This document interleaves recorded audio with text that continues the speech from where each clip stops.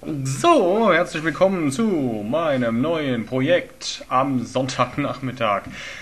Ihr seht schon den originalen C64 äh, Startbildschirm und da geht's jetzt los mit einem Spiel, das ich früher auch immer mit der ganzen Family oft gespielt habe. Glücksrad, ja, ganz locker, ganz schnell, wird auch wahrscheinlich nur ein Part in Anspruch nehmen.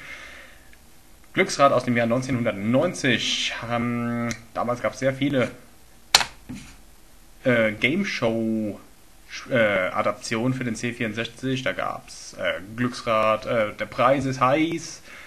Was gab es damals noch? Ich glaube Bingo, Riskant, Hop oder Top und was nicht noch alles. Das ah, war ja wirklich tolle Game Shows damals.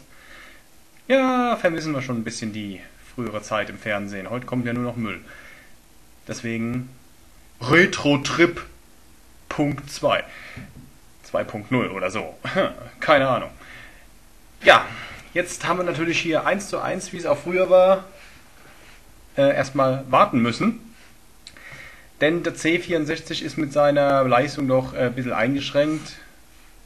Und ja, in der Zwischenzeit kann ich mal was zum Spiel erklären. Glücksrad, wie gesagt, kam 1990 von GameTech auf den Markt.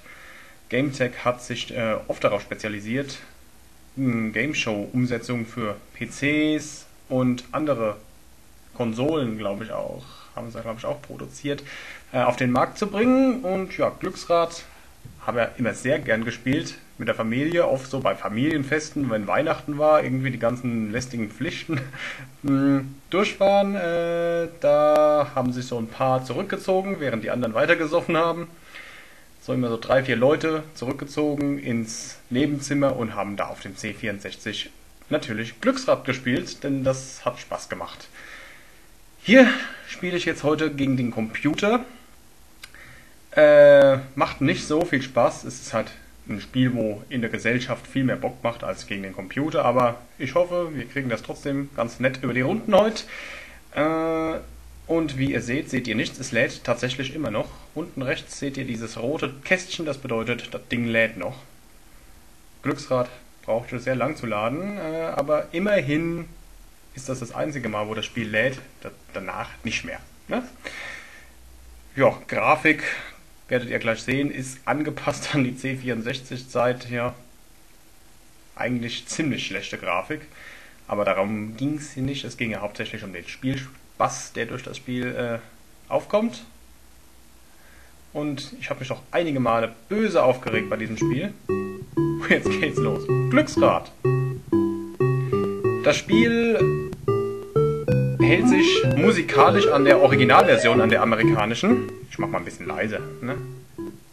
So ist besser. Äh, ich, F1, ein Spieler. Waren Sie schon mal da? Ich war zwar schon mal da, aber ich gebe jetzt hier mal meinen Nickname ein. Also F3, nein.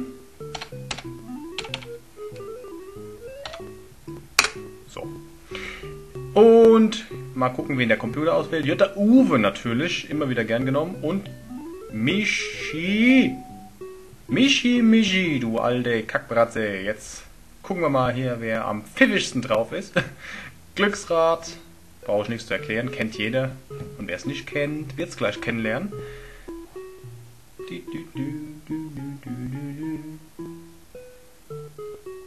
Das ist Sound Wahnsinn. Das gefällt mir.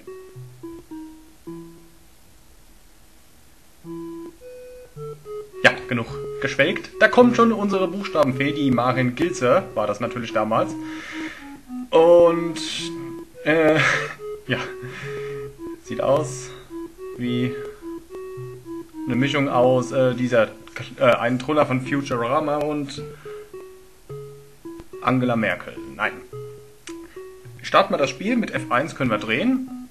Okay, jetzt habe ich direkt mal die Zeit versäumt. Ich, äh, ich war zu langsam. Okay, das war schlecht. Ich wollte ja eigentlich mal was zum Spielen ein bisschen loswerden. Jetzt ist natürlich der Computer an der Reihe und der wird mich jetzt erstmal an die Wand raten. Ah, ja, Paare sind gesucht. Paare, Paare, Paare. Bei Paare können wir immer annehmen, dass das zweite Wort UND bedeutet. Soweit sind wir eigentlich schon. Das ist also quasi schon ein Wort geschenkt. Aber ich bin leider nicht dran, denn der Oh, Glück. Der Uwe hat gefailt. so, Michi, du alter Sack. Komm, jetzt mal schön bankrott für dich oder aussetzen, was auch immer. Nein, er hat einen richtigen. Ein R. Ein R im Spiel. Und die Marin läuft steif wie ein Bügelbrett von links nach rechts oder von rechts nach links. Und dreht die Buchstaben und, und drückt die Daumen noch, während wir drehen. Das ist natürlich auch sehr schön animiert. so, es hat auch der blöde Michi gefällt und ich bin wieder dran. Jetzt drücke ich mal rechtzeitig, ehe ich hier wieder Timeout gehe. Schönes Spiel. Und krieg gleich mal den Höchstbetrag der ersten Runde. 750, dann nehme ich auch beim N wie Nordpol, da weiß ich, dass es drin ist. Genau, wegen dem Wort und. Führe ich ja gleich mal das Feld an mit 750 D-Mark sind das noch, ja. Ich habe es ja schon mal gesagt, D-Mark kennen die meisten nicht mehr. Das war eine Währung in Ostbayern, hat sich nicht lang gehalten, wurde dann vom Euro abgelöst.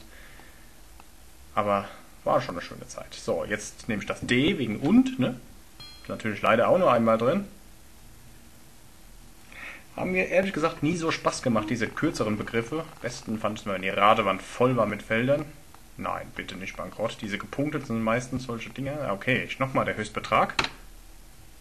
Ein S wie Siegfried. Einmal. Mhm. Noch weiß ich nichts, außer das zweite Wort ist und. Ihr könnt ja zu Hause wunderbar mitraten.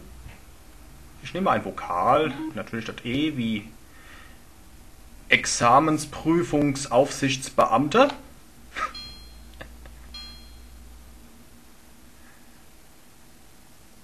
Zwei Stück.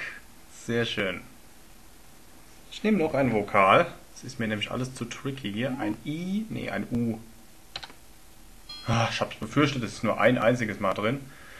Das hätte ich mir schenken können. Egal. Vokale kosten 250 Mark hier im Spiel.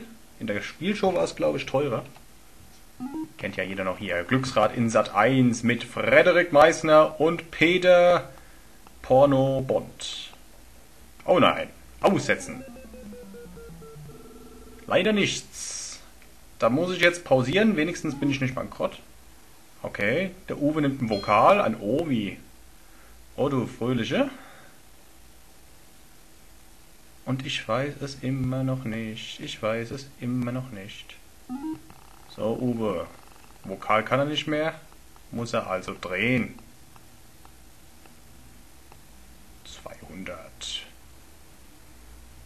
Scheiße. Hm.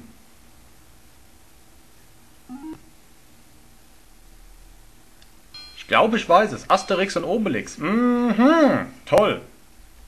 Jetzt bin ich natürlich in einer sehr prekären Situation. Das ist, glaube ich, das einzige Rätsel im Glücksrad, wo zwei X drin vorkommen. 2x. Das gibt es nicht allzu oft. So, der kriegt natürlich nur 100. Verfluchter Mist. Der Uwe, der Uwe, das ist, das ist so ein absoluter Crack hier. Der Uwe, immer wieder dabei. Wenn wir den Computer nehmen.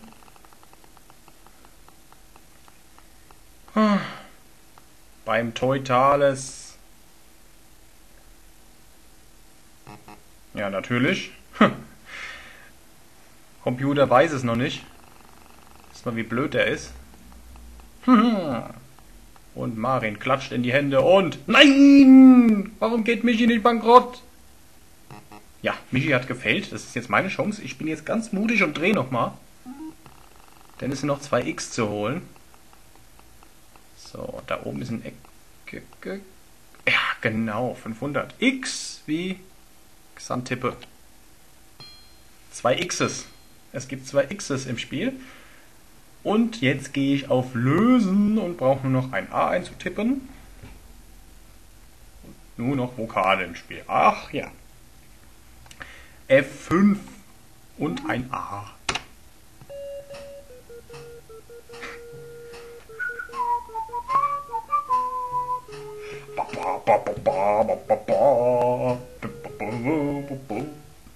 Sehr schön.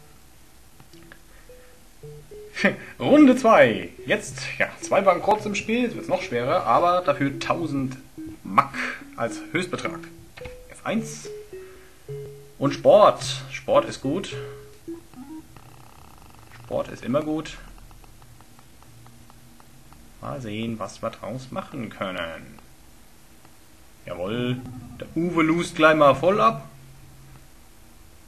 Uwe hat gerade einen schlechten, ganz schlechten Lauf. Und der Michi hoffentlich auch. Nein, leider nicht. Keine SS im Spiel. Keine SS. das ist politisch nicht so korrekt. Entschuldigung. Den Extradreh gibt es lustigerweise auch nur in der ersten Runde hier in diesem Spiel. Der wird dann nicht mehr vorkommen, dafür halt zwei Bankrott. So, einmal ein RW Rasenmähergriff. Rasenmähergriff Anschweißmuffe. Drei Stück, na das ist doch hübsch. Nochmal drehen. Ist ja klar, dass der Spieler, der am Schluss das meiste Geld zusammenbekommt, nach drei Runden dann ins Bonus in die Bonusrunde einzieht.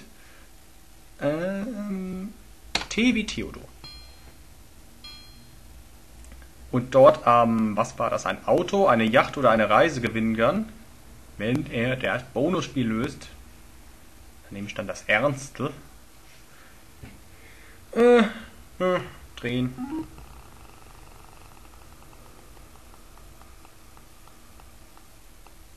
Vorsicht, 500. Envy natürlich. Auch dreimal. Hallo. Jetzt bloß nichts anbrennen lassen. Jetzt nehme ich mal ein Vokal. Und zwar natürlich das E. Wie egal E. Zweimal. Also irgendein Titel. Trabrennen vielleicht. Trabrennen. Trabrennen. Könnte sein. Drehen wir nochmal. Es ist natürlich jetzt sehr riskant, das Bankrott lauert überall. Der Maren drückt uns die Daumen, die alte Sau. Das alte Luder, da läuft sie mit der Stöckelschuhen über die Bühne und grinst sich vor sich hin. Jetzt hier ganz lässig an die Ratewand gelehnt. Ha, was tolle Animation. Ich nehme mal ein Vokal, und zwar ein Ivi ist nicht wahr. Zwei Stück. Irgendwas im Trabrennen. Aber was? Aber was? Aber was? Aber was? Gucken. Irgendetwas im Trabrennen. Wisst ihr es zu Hause schon? Zu Hause, zu Hause. M. Einmal, soweit ist klar. Versuche ich nochmal mit einem A wie Anton. Zwei Stück, sehr gut.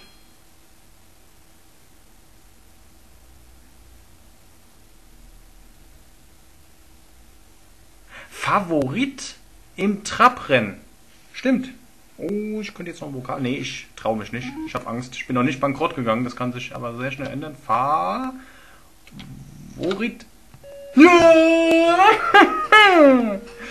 oh, läuft das gut.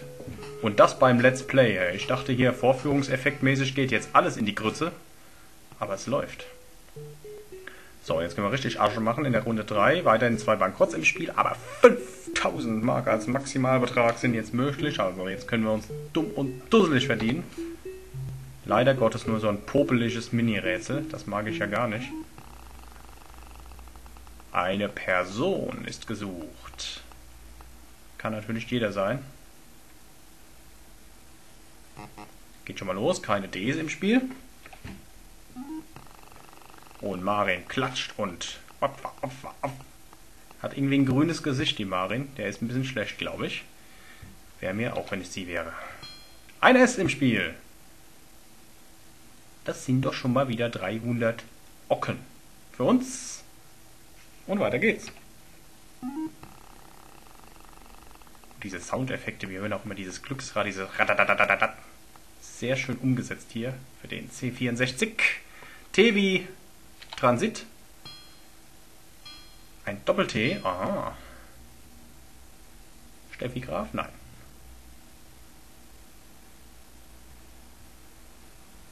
Keine Ahnung bis jetzt.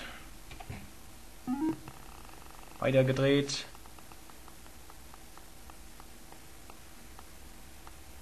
Ne, 200. Ein R wie Richard.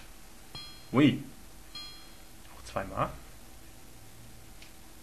Zweimal das R. Fotte, Sotte, Cutter, Hutte.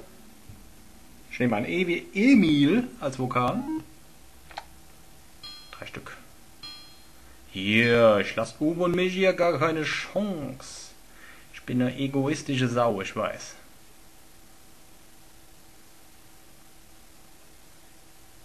Otte.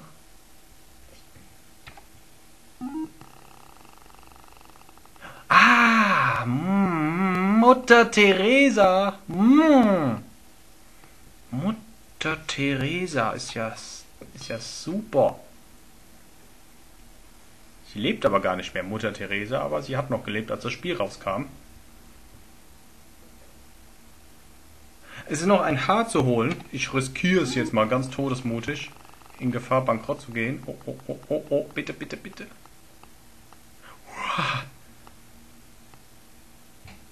Herzschlagfinale, ja. Na, ich hab mich vertippt, ich hab mich vertippt.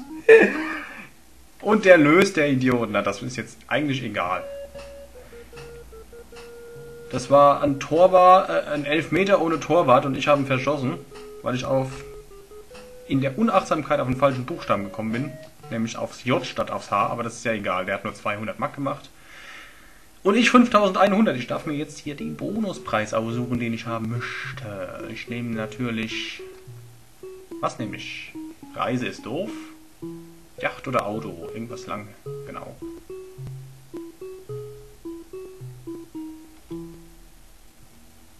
Ich nehme das Auto. Vielleicht gibt es einen Trabi zu gewinnen. Das Spiel gab es übrigens auch auf dem Gameboy. Spiele ich vielleicht auch nochmal kurz als Mini-Projekt. Jetzt darf ich mir fünf Konsonanten, dann natürlich als ausgebuffter Glücksradkandidat gibt es natürlich nichts anderes als das Ernstel. Stl und das E. Und jetzt kommt natürlich so ein riesen Drecksrätsel, wo ich gleich eintippen muss wie ein Bekloppter. Oh, nur ein N in diesem riesen Ding, seid ihr scheiße. Ein Ort ist gesucht.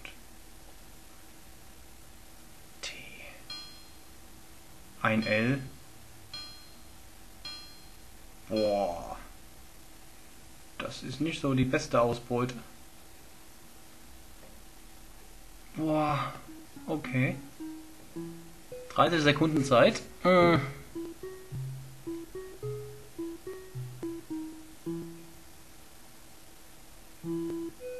Des Mutterkerns.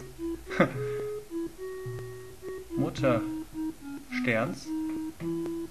Mutter Sterns? Viel zu wenig Zeit. Ich hab gelust. Nee. Ich weiß nicht. Abgelust. Naja, 5100 Mack. Auf dem gibt Gipfel des Matterhorns. Ach, ihr seid doch scheiße. Da hätte Matterhorn gereicht. Nee, auf dem Gipfel des Matterhorns. Natürlich. Unverschämtheit. Naja. Da haben wir die Champions-Liste natürlich. Die können wir äh, letztlich auch speichern. Wunderbar alles. Ja, zweiter Platz mit 5100 Mack. Ganz nett. Ja, das war's mit Glücksrad. Kleines Mini-Projekt. Solltet ihr auch mal spielen. Macht Spaß. Vor allem in der Gruppe, wie gesagt. Okay, dann gibt's ja noch der Preis ist heiß. Könnten wir auch noch mal spielen.